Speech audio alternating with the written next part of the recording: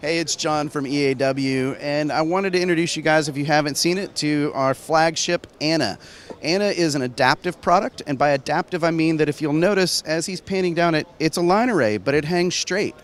Why does it hang straight? It has to be able to bend, doesn't it, to get to the front row? No, it doesn't. Uh, what we've done inside here is each of these boxes has 14 amplifiers and drivers that are each individually controlled, each with its own custom FIR filter, to basically say I can take each one of those at a resolution of one inch to be able to steer sound straight up or straight down based on the geometry I give it for the room. So we will draw it in 3D, place this at the height it needs to be at, and then we're going to basically have the software calculate the virtual J that it takes to pull off the same thing a real J would do. But what we've done that's pretty cool is that we've obeyed all the original math of line array physics. No driver is any more than a quarter wavelength against the frequency that it's going to do. So it, everything is matched, okay? Um, I'm going to come in here and show this on, on this. So this is our HF section.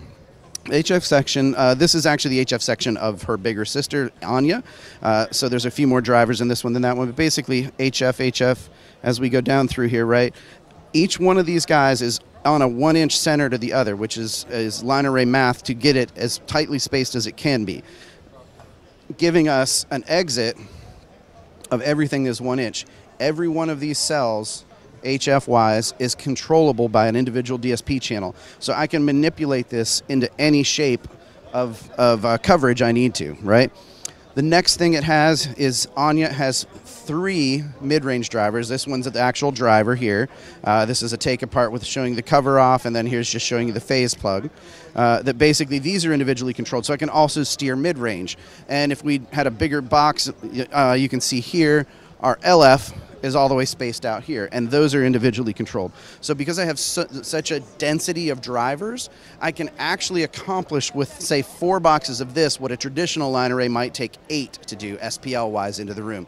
And because I can digitally steer it to the shape of the room I need, A, it flies faster, B, it's technically less weight from against many other comparable systems, and C, because of the density of drivers, like I said, I can get the same SPL with a shorter stack, meaning we could end up if, uh, if we had our video screen here and we had a sightline issue with a traditional line array, I could put my line array up, with the Anna system above it and it really doesn't matter what the trim height is because it's going to digitally steer to where it needs to. So that's kind of a real brief overview of it. You can see more on our website at eaw.com, and that's it for today.